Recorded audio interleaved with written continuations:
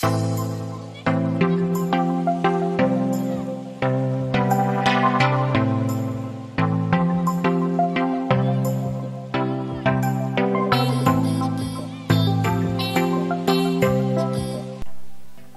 everyone, it's Rosette, and I'm back today with another decoding.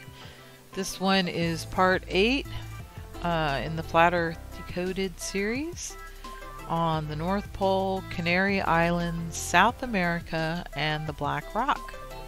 So before I start, I just want to say a shout out to my good friend Scotland Sean, who's having a birthday here in a few days. So I'm wishing you all the best, Sean. Hope you have a great birthday, and I'm very thankful that you're in my life. You're a great guy. So, a quick recap of where we left off. In part one, we looked at the general symbolism of the flat earth hidden in our modern day vocabulary in things such as sea level. Call that because you see level. Here's a graphic I found where you can clearly see sea level is flat. Oh my gosh! Global warming, fear, warning Jim, warning. See here, you're gonna, if you're in Venice, you're just, you're just toast. Alright, and it goes up Los Angeles, yada yada yada.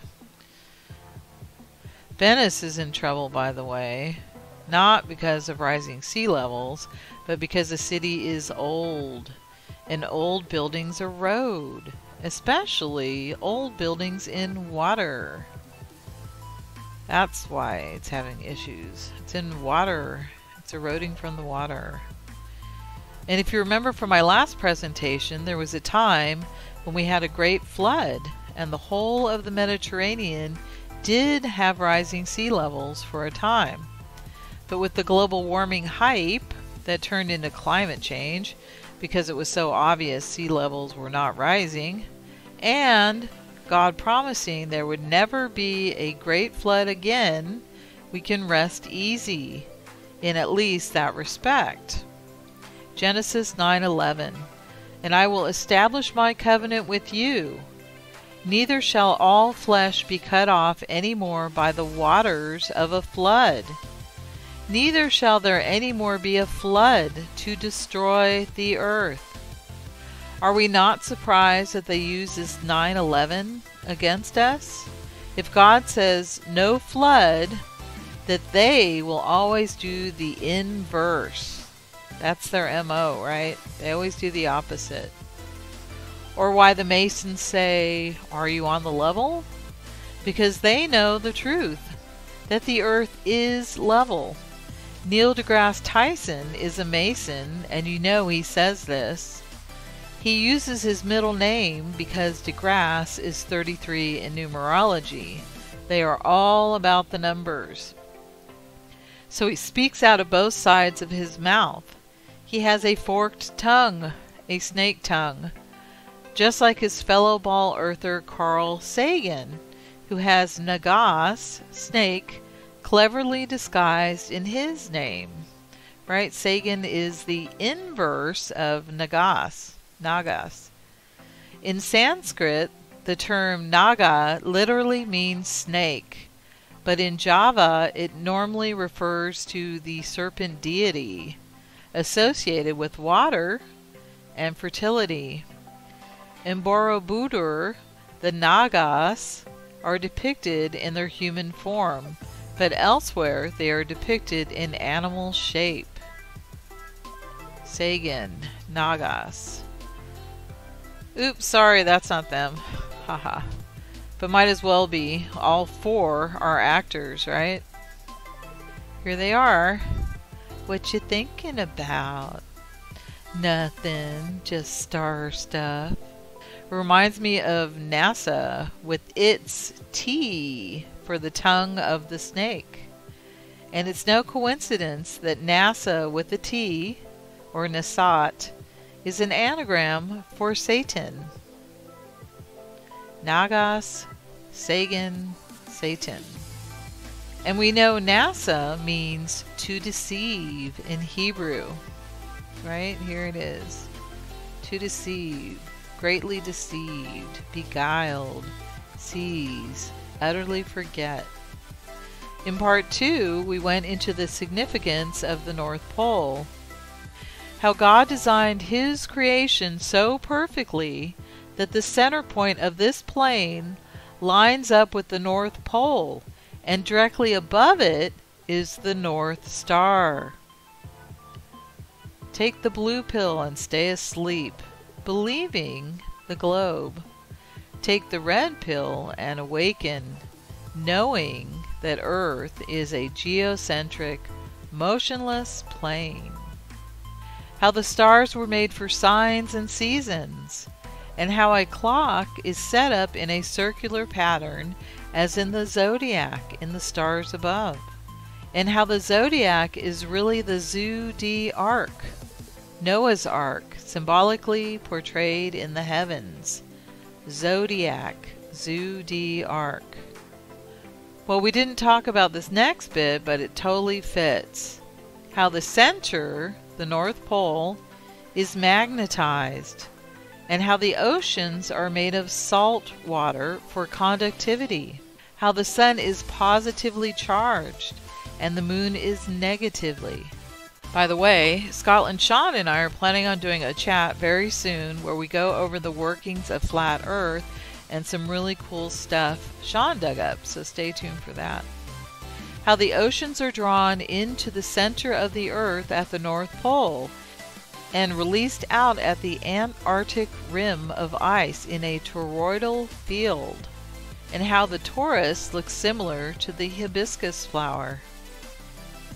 See the little the whites there look like water going into the they would be the indrawing seas and you could see um, the hole there it looks like a it's swirling like a whirlpool and then the stamen right there would be the magnetic mountain in the middle right and then the petals would represent the islands that are all connected there at the North Pole.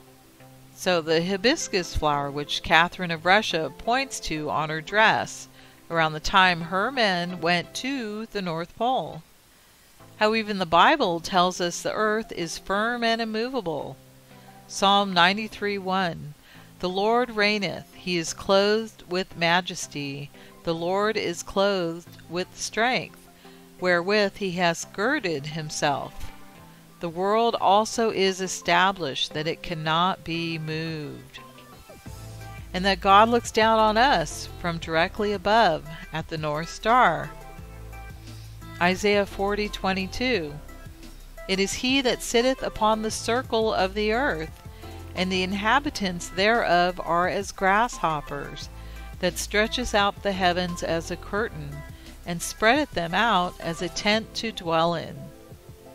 And a verse here that I'm sure the Masons like. Revelation 29. And they went up on the breadth of the earth, and compassed the camp of the saints about, and the beloved city, and fire came down from God out of heaven and devoured them.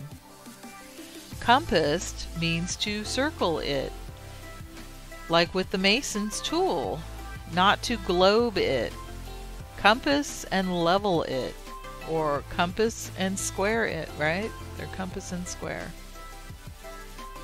In part three, we took a look at hidden symbolism in different forms of media, such as books and movies, in things like The Wizard of Oz, in which the land of Oz is clearly depicting the land at the North Pole.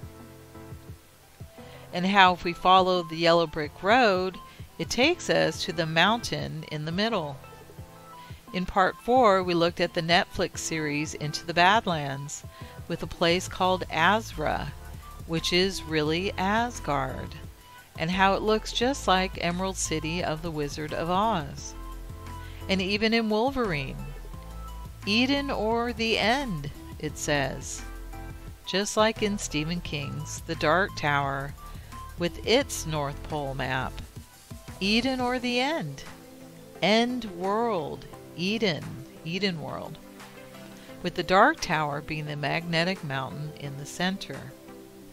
From there in part 5, we took a look at the lands around the North Pole to see if we have any connections. and we found a bunch in places such as the Hebrides, which are islands off the Scottish coast, and Ireland, which is Aryan land. In part 6, we next looked at the Southlands and saw too in what way these lands are connected. Mary is connected throughout, like in the name Lemuria, La Maria, the Mary, and the Mori, or the Mary, of New Zealand.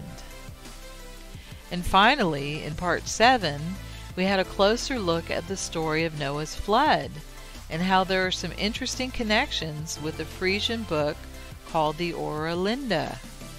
Here, mentioned in the book, is the Garden of the Hesperides, which is the Garden of Atlantis. Notice how Hesperides is very similar to Hebrides, and Hebrides means the land of the Hebrews. Hesperides, Hebrides, Hebrews. So we continue our journey here in part 8 by expanding on where the Frisians went when they traveled west. In this episode, we will end up in South America, and in the next part, we'll take a closer look at North America. I just didn't have enough time to fit it in, so we'll do that in a separate part. Remember how in the last part we talked about Inka's people and how they decided to go west and find the tops of Atlantis. When they had counted the people and divided the ships accordingly, the fleet separated. We shall hear of Tunis afterwards, but nothing more of Inka. So no more mention of Inka in the Oera Linda book. But let us imagine what happened to Inka. They went looking for Atlantis. Inka thought that perchance some high-lying part of Atlan might remain as an island, where he and his people might live in peace. And remember from part 6, we learned of the Nagati Hotu people who fled Persia and sailed to Central America. Apparently, Inka's people sailed that way too. And in the Oera Linda book, too, we learned of Frisians who sailed through the Suez Canal before the land lifted and formed a colony in India. So we can see how the same people migrated all over the Indian Sea, Mediterranean, and even the Atlantic Ocean in our past history. The name Himalayas is actually derived from a German word, Himmel, which means heaven. So Inka and his people sailed west through the Straits of Gibraltar looking for the remnants of Atlantis.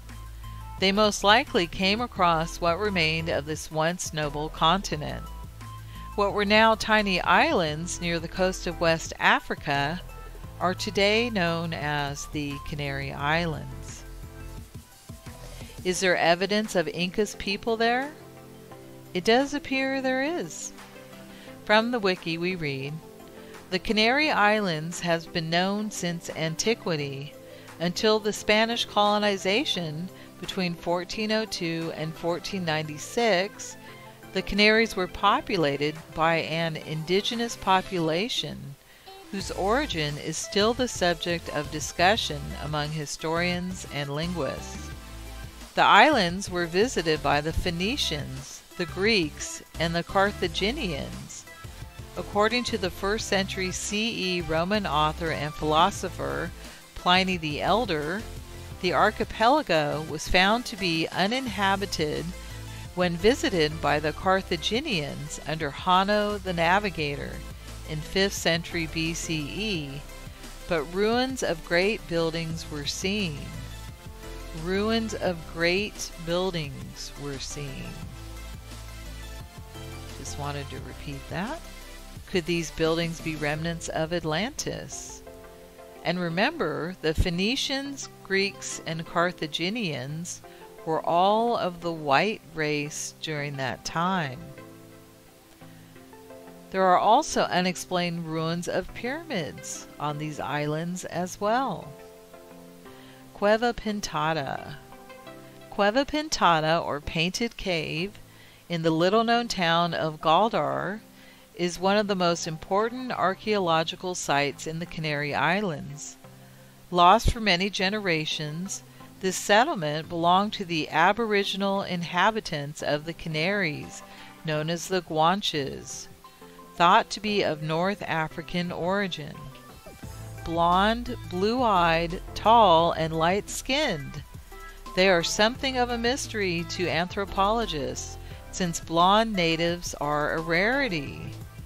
They were conquered by the Spaniards during the turn of the 15th century but this museum and live excavation site gives a fascinating insight into pre-Hispanic life. As the name suggests, you can see prehistoric cave art with red, black, and white painted geometrical shapes at a site that may have been used as a dwelling, a sacred place, or for funeral rites. So isn't that interesting? There were blonde, blue-eyed, tall, and light-skinned people on the Canary Islands, the Guanches. And here is an antique print from 1947 titled Cave Sepulchre des Guanches. This original antique print shows the Cave of the Guanches, Gran Canaria, Canary Islands. Mummies prepared in the cave by the original inhabitants, the Guanches, of the Canary Islands while Western men are watching the process. So we saw evidence of pyramids, and now we see evidence of mummification. And here's one of the mummies they found. Note that mummification is usually associated with ancient Egypt. Remember the pyramid ruins I just showed? Where did they come from? How about they never left? Most likely they were the survivors of ancient Atlantis who fled to the mountaintops when Atlantis sunk. The Guanches were the tall native inhabitants of the Canary Islands. They were just about exterminated by the Spaniards at the turn of the 15th century. According to the Encyclopedia Britannica, the Guanches are thought to have been of Cro-Magnon origin and had blue or gray eyes and blonde hair. These ancient, mysterious people also left stone pyramids and mummified their dead. Where did the Guanches come from? In this painting of the captured Guanches leaders, we can clearly see they were white, just like their Spanish oppressors. And remember the part in the Oera Linda book we read here previously. Inka thought that perchance some high-lying part of Atlan might remain as an island, where he and his people might live in peace. Reminds me too of the Frisians that colonized South America, known as the Boers, who also wanted to live in peace. Here is a painting of Boer women and children being held as prisoners during the Boer War from 1899 to 1902. This is the first instance of a concentration camp where women and children were starved and died from disease and infections. The death toll included 80% children. There are more than a dozen statues of the Guanches on the Canaries. You can tell by them that the Guanches were of the white Aryan race. Here's a close-up of one of the statues. Clearly European features. Now I found something else very interesting. There is a flower called Dama de Bandama, Lady of Bandama. I couldn't find out what Bandama means which is endemic to the Canary Islands. Could this flower be a remnant of the plant life of Atlantis? Did Noah miss this flower when placing them into the ark? Were other species found around the Mediterranean once endemic to this lost continent? And does this flower remind you of any other flower? It totally reminds me of the German flower called the Edelweiss. Both have thin, pointy leaves with small white petals. Here is the Dama de Bandama. And here is the Edelweiss. Note too that the Edelweiss is found on the mountain tops in Germany, Austria, and Switzerland. And if the Canary Islands are the mountain tops of Atlantis, then both flowers are found on mountain tops. Edelweiss means noble white. Germany's elite troops during World War I and II would wear the flower to show they are noble, courageous, and brave. They were good men fighting for their people, for their country, for all of Europe to remain free. Here are several pins they wore. Aren't they beautiful? This one says Speyersberg Führer, which means Hope Mountain Leader. So some remains of the people of Atlantis could be the Guanches, and some could even be from Inka's people. But with the restless, adventuresome spirit that the Frisian people had, Inka's people could have packed up again and headed west.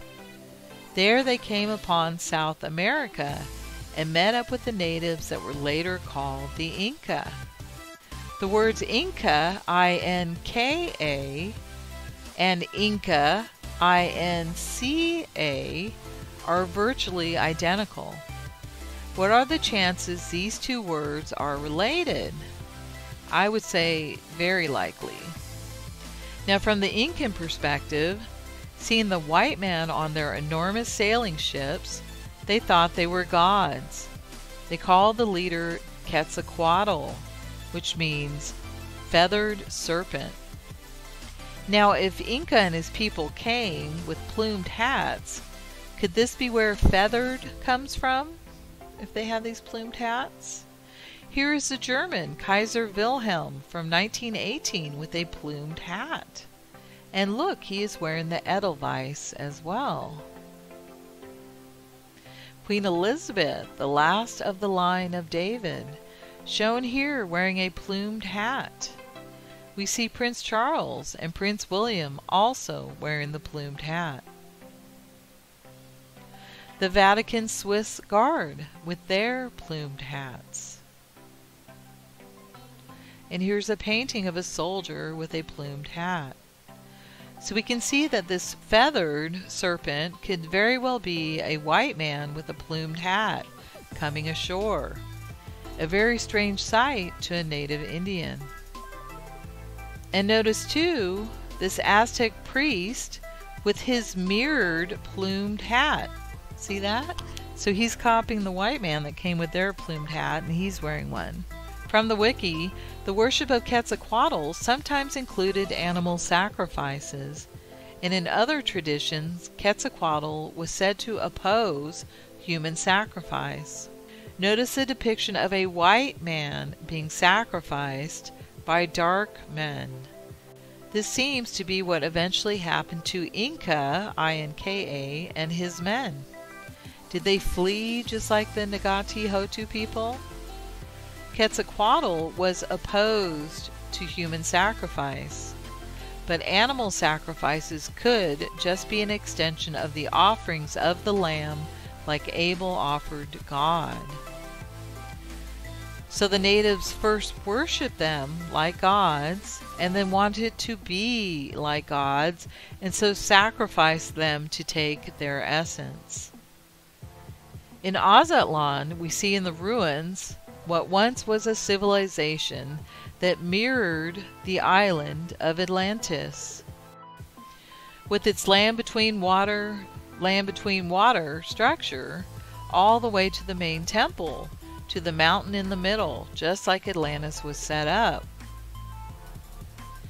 The wiki further mentions that Mesoamerican priests and kings would sometimes take the name of a deity they were associated with, so Quetzalcoatl and Kukulkan are also the names of historical persons. But more likely, Quetzalcoatl and Kukulkan are the same person because the name means the same thing. And they did the inverse here, making a person into a god. similar to what the Egyptians did with the pharaohs, and some Europeans did with Odin, and later the Romans did with Julius Caesar, all men becoming gods. The Yucatec form of the name is formed from the word kuk, feathered, with the adjective suffix ul, giving kukul, feathered, combined with khan, snake, Totzal giving a literal meaning of feathered snake. Kul Kol Khan, feathered snake. And Kul Kul Khan could be Khan as in king. Cain, Khan. We know Inca is an anagram for Cain. Inca, Inca, Cain, Con. Could the Canary Islands be named after Inca too? The Con or Cain, Airy, or Aryan Islands. Could Inka and his people have taken their name from Cain in idol worship? Followers of Cain? Canary, Con, Aryan, Aryan king. So let's think this through. Cain's descendants were mixed because we know Cain had to take a wife from outside of the garden. And we know the Frisians were not of mixed race. They were pure Adamites. So if a Frisian took the name of Inca, we can only assume it is in idolatry or ignorance, because they're not descendant from Cain, right? The feathered serpent. Matthew 10:6. Behold, I send you forth as sheep in the midst of wolves. Be therefore wise as serpents and harmless as doves. So we are the sheep, wise like a snake, and harmless like a feathered dove. Hence the feathered serpent, right? It's right in there, Matthew 10:16. Serpents and doves, feathered serpent. Did the symbol at one time show the mortality of man? That we go through the cycles of life experiencing birth and death and birth anew with each generation, as symbolized by the Ouroboros eating its tail. That's what I think the picture actually symbolizes. Because Quetzalcoatl's a good guy, so you know he's he's not into human sacrifice, that part wouldn't make sense, right? But it would make sense if it's symbolic, showing the cycle of life. This feathered serpent reminded me of the Alfa Romeo logo. Alpha, A-L-F-A, same thing as Alpha, A-L-P-H-A, right?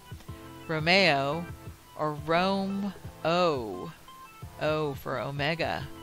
So we have the Alpha and the Omega, with the red cross and the triple crown. And of course, the same feathered serpent eating a sacrifice.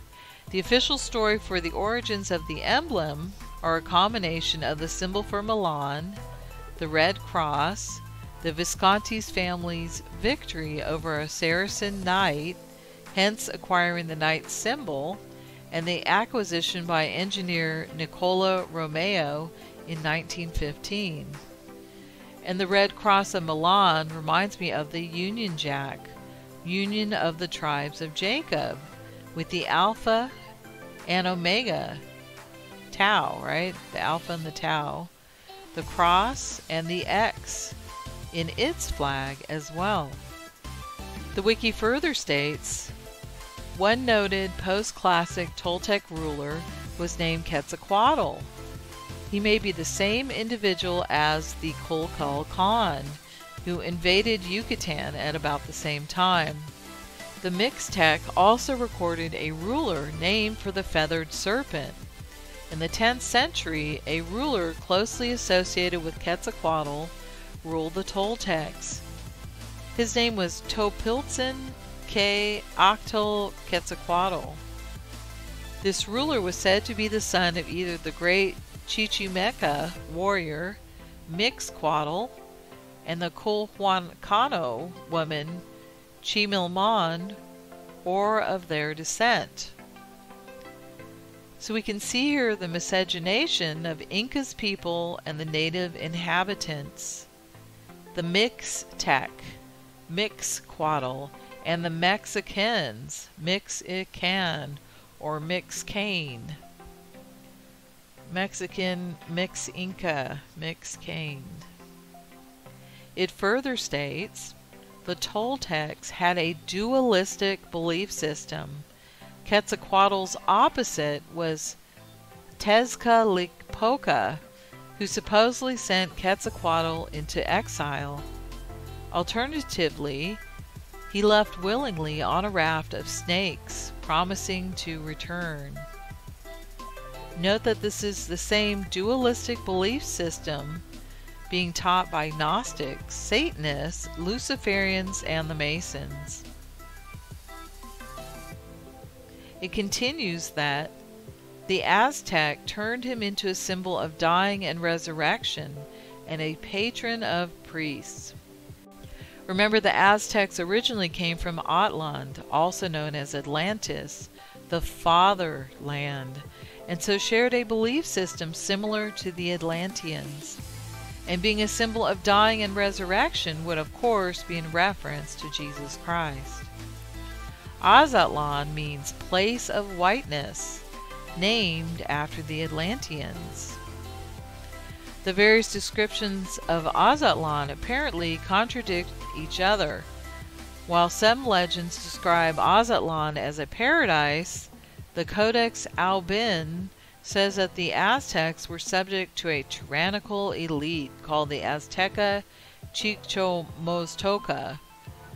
Guided by their priests, the Aztec fled, and on the road, their god, Huitzilopochtli, forbade them to call themselves Azteca, telling them that they should be known as Mexica. Scholars of the 19th century, in particular Alexander von Humboldt, and William H. Prescott translated the word Azteca as is shown in the Aubin Codex to Aztec. Aztlan is mentioned in several ethno-historical sources dating from the colonial period, and each of them give different lists of the different tribal groups who participated in the migration from Aztlan to central Mexico but the Mexica are mentioned in all of these accounts. Historians have speculated about the possible location of Aztlan and tend to place it either in northwestern Mexico or the southwest U.S., although there are doubts about whether the place is purely mythical or represents a historical reality. I would say that it was not located in the southwest U.S since it was known to be an island. And there are many clues that it was actually situated in the Atlantic, Atlantis Ocean, between the Americas and Europe in the north and Africa in the south. Here's a depiction of the departure from Aztlan as an island in the 16th century Codex Boturini. Aztlan is also depicted as an island in the Aubin and Azcatitlan codices. So in several ancient texts, it's showing it as an island.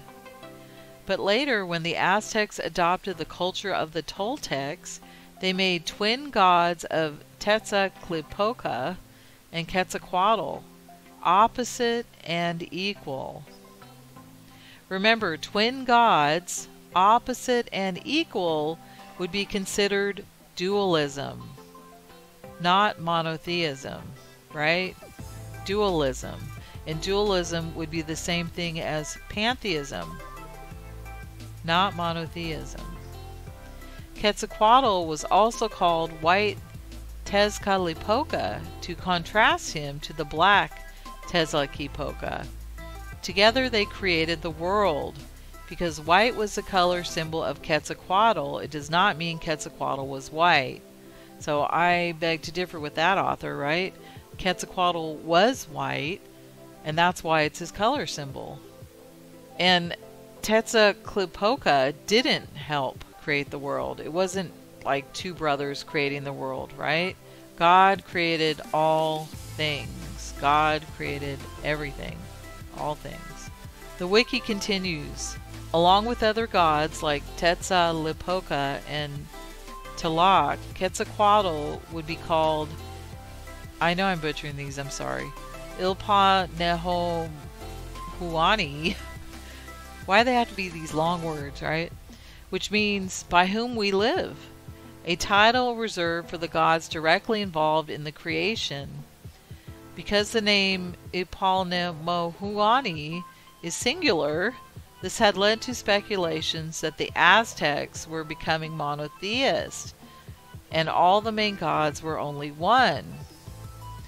I believe the truth is actually the opposite, though. The Aztecs were monotheists, but later became influenced by the Toltecs and their dualistic beliefs. The opposite, right? And notice here, so this is a picture from one of the codices that I'm reading from. And you can see here he has a plumed hat. The white man coming with the plumed hat. Quetzalcoatl. In some rural parts of Mexico, there still exists a belief that in some caves near certain towns there lives a monster, a great feathered snake that can only be seen by special people. Of course, it's always only special people that can see this stuff, right? The monster must be placated for there to be plentiful rain. The feathered snake is also still worshipped by Huichol and Cora Indians. The cult of Quetzalcoatl has been more or less idealized, and the image of a white god has become part of the popular culture. Some modern esoteric groups, sometimes called Mexicanistas, have mixed the cult of Quetzalcoatl with modern esoteric practices. There are also claims that Quetzalcoatl was either a lone Viking, Levite, Jesus, a survivor from Atlantis, or even an extraterrestrial.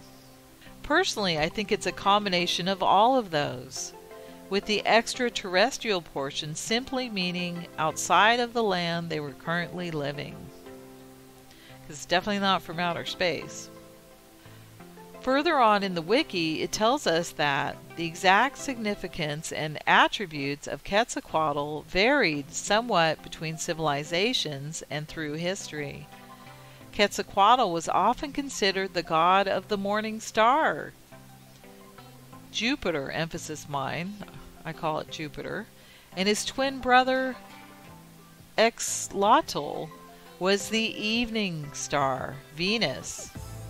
As the morning star, he was known by the title, I'm not going to even try that word, meaning Lord of the Star of the Dawn. He was known as the inventor of books and the calendar, and the giver of maize, corn to mankind, and sometimes as a symbol of death and resurrection. Quetzalcoatl was also the patron of the priests and the title of the Aztec high priest. Note that the Luciferians like to call Venus the morning star as well and use this as a symbol for Lucifer.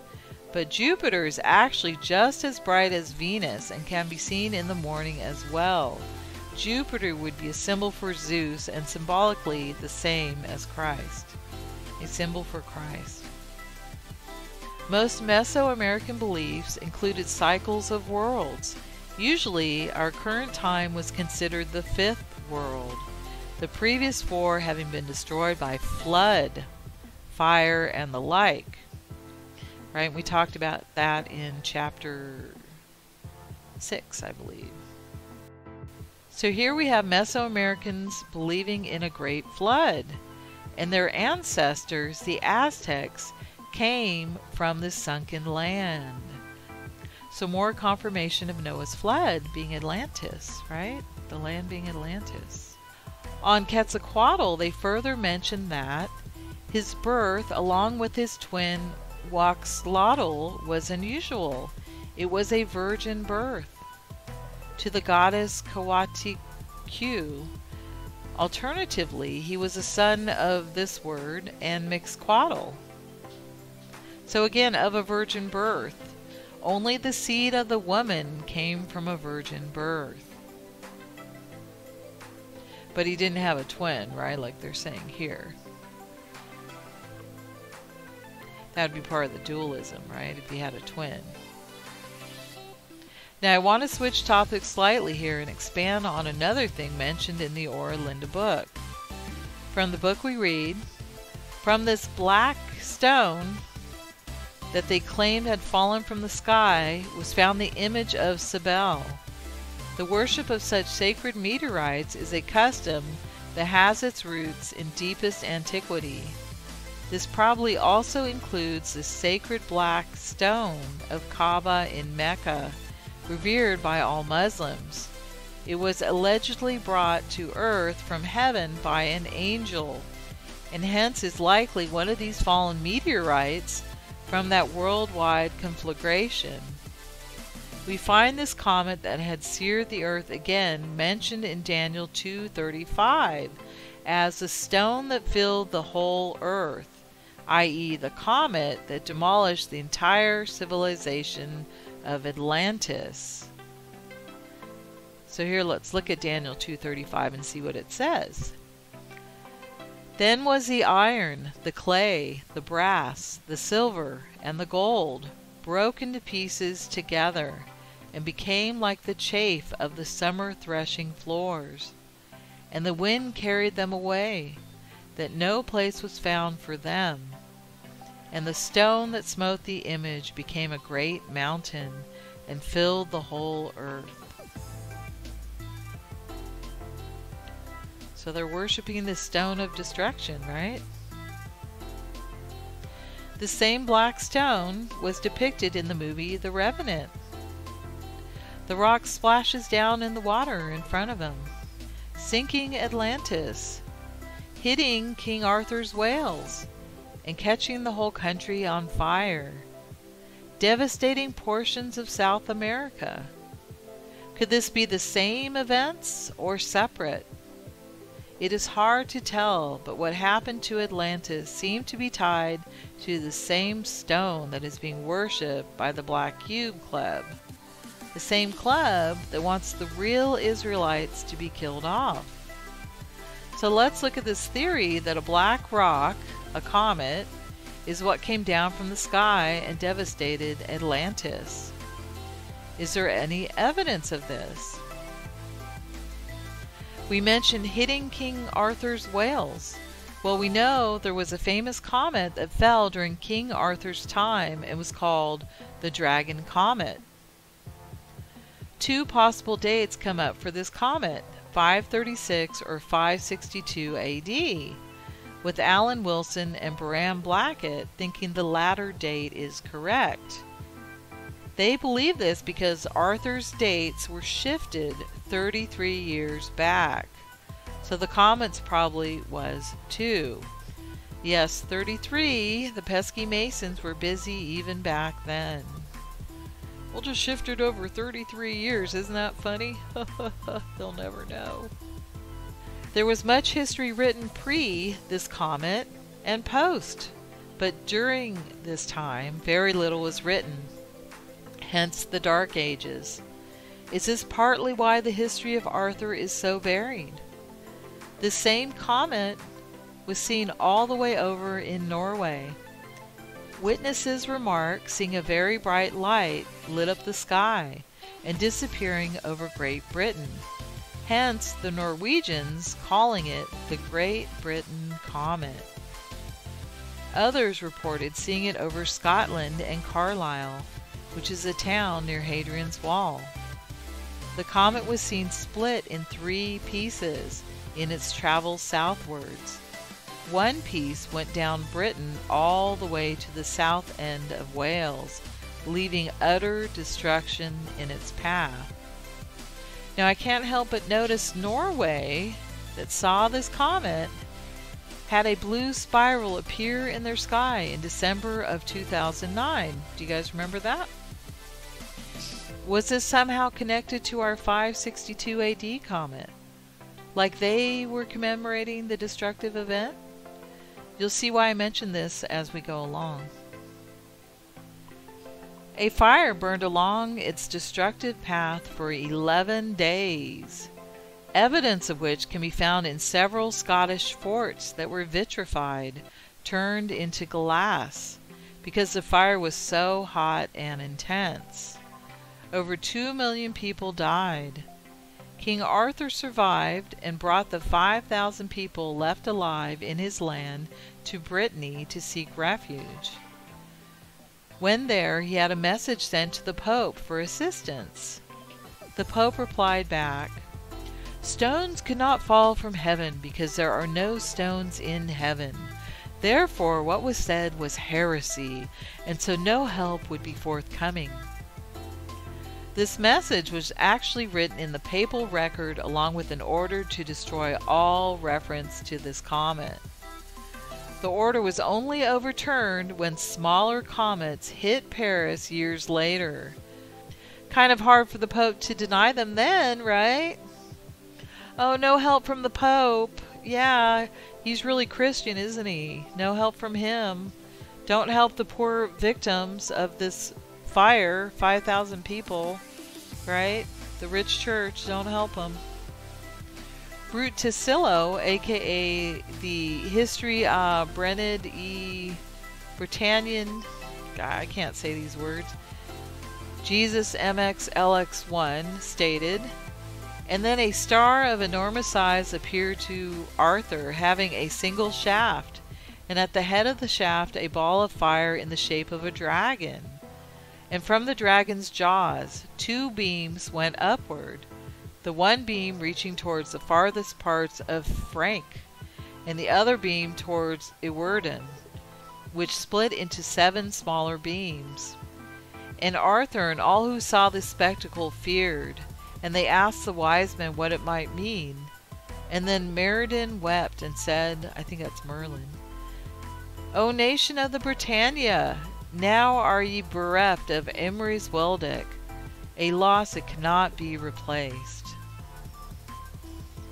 The foregoing quote was taken from the Brut Tysilio, the most ancient surviving written history of the British Isles, which is recognized by the Oxford University as being one of the most important surviving artifacts of antiquity, thereby giving academic weight to the claim that an enormous comet lit up the sky from Ireland to Gaul, taking the shape of a fire breathing dragon which struck Britain with tremendous force and heat in November 562 AD, devastating both the population and the landscape.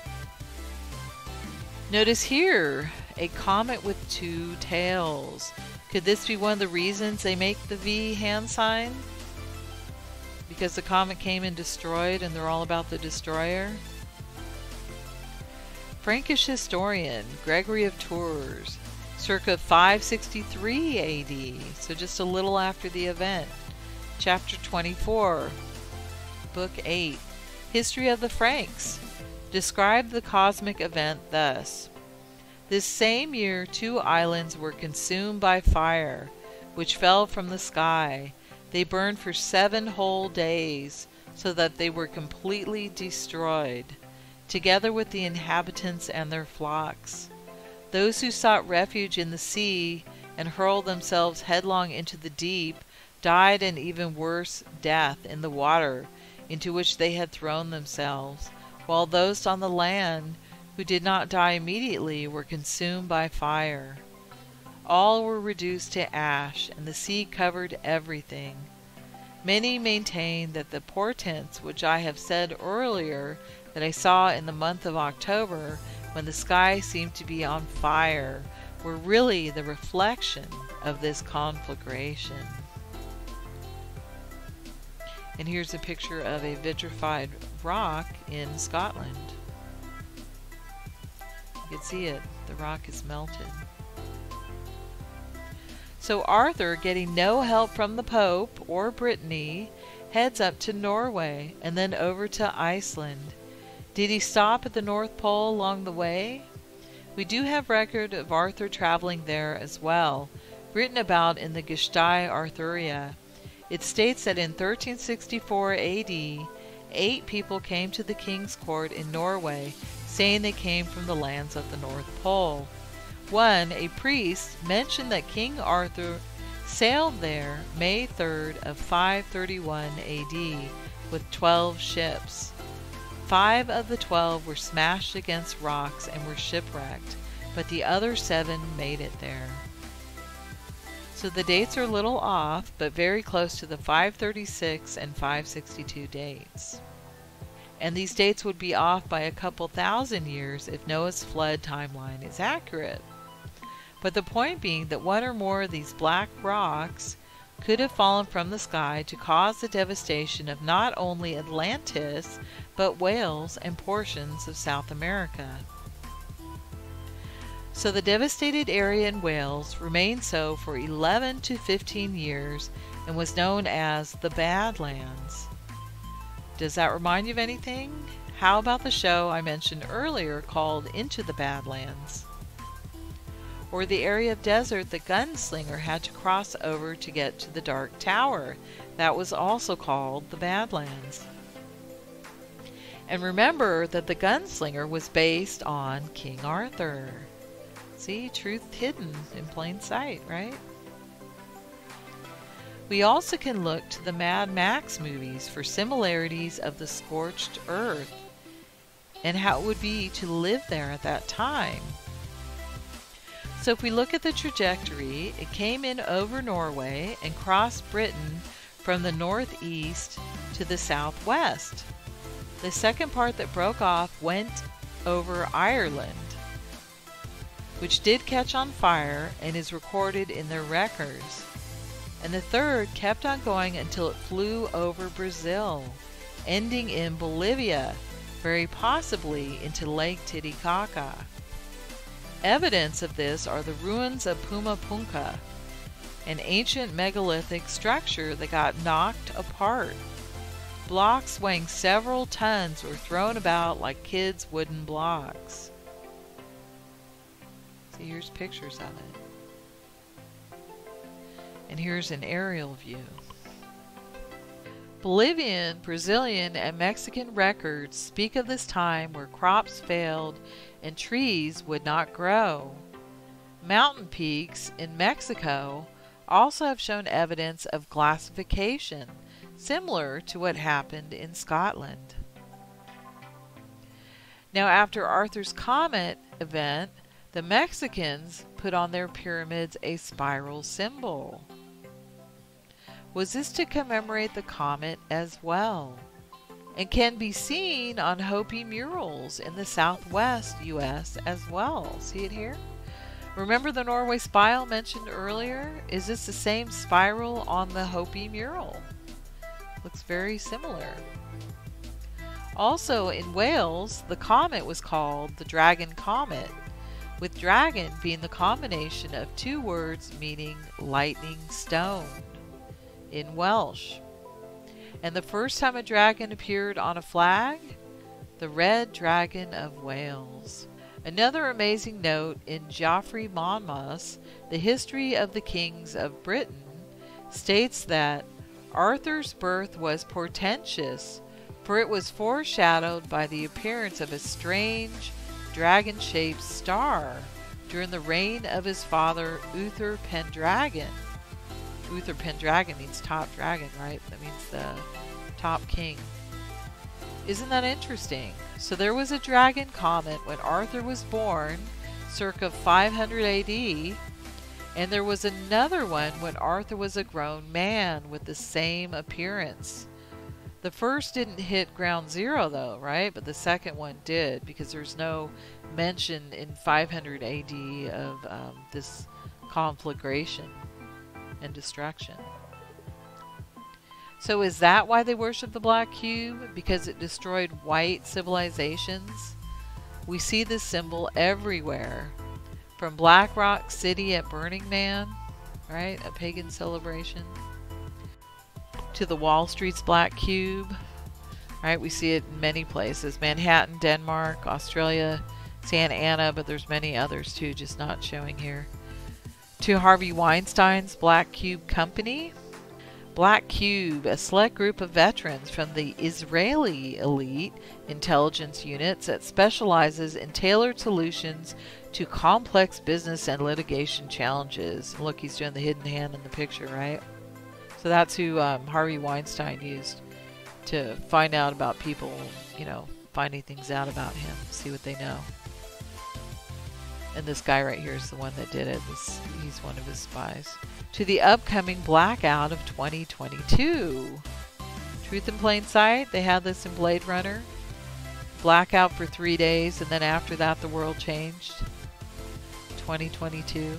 Foretold at Diana's funeral with the three black swans. They released three, right, at the funeral in the lake. A swan is symbolic of the number two. If you look at it, it makes the shape of the number two. So three of them would be 222 or the year 2022. Blackout 2022. King Arthur left Wales because of this same devastation by the Black Rock. It impelled him to travel to the North Pole and then later to North America. We'll take a closer look at North America's connection to the North Pole and the history of the Israelites in the next part and some interesting info on King Arthur I'll put in there too in North America. Were these catastrophes purposely done by God to get our people to travel to the four corners, to nudge them in their adventurous spirit to see the world and to conquer it? And what do we have now? Will this wonderful legacy of spreading civilization to the earth be for naught? For now it looks as if Yahweh's people will be the ones to be conquered. People must understand it is a battle between God's people and the people God damned. God's people and the damned, right? That's who its verse is. It will be one or the other coming out on top. There isn't room for both and depending on who wins will determine what kind of world we have and if the world will even survive. Whenever Yahweh's people fled, that thriving civilization died. Always. It will be the same for the whole world. That is the truth. So people need to put their ego aside and help the white man, unless they want their children to grow up in a world where they are slaves that death and destruction awaits them. A crumbling world awaits them. Watch movies like Mad Max or The Road, and you will see how the world will be. Roaming gangs of thugs, cannibals, cannibals. Only the evil will thrive. Will you carry the fire, Papa? On the other hand, if Yahweh's people survive, they will make the world thrive. New technology will be used to make free energy for cars and for homes. Everyone will have a home. Any form of money will be backed by the people's hard work and not by gold or fiat currency controlled by a few. People will do the work that they love. Work will not be toiling work anymore, but what one desires to do to better their community. God gave each of us special, unique gifts for a reason. There will be no leader but Christ. We can finally thrive and live in peace. No man is a slave, all men are free, and the world will be a beautiful place. That's how it can be. Take care. Stay tuned for part nine. Yahweh bless. Know what day it is today? Um, the first day of the rest of our lives? No. Sean Connery's birthday? Sean Connery's birthday. Sean Connery's birthday.